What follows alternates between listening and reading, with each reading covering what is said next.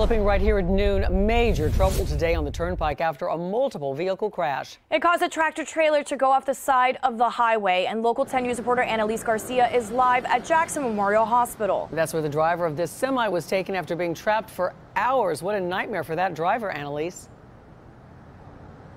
Absolutely a complete nightmare. After about three hours of being stuck in the cab of his semi truck, he was pulled out by Miami Dade Fire Rescue and then airlifted here to Ryder Trauma Center.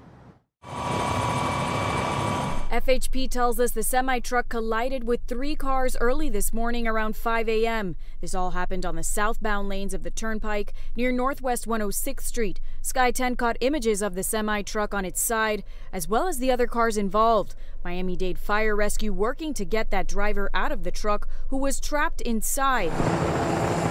Helicopter arrives and a medical professional walks toward the truck to assist. Eventually, they were able to get him out onto a stretcher up that hill next to the turnpike, then to the helicopter to get him out of there and to the hospital.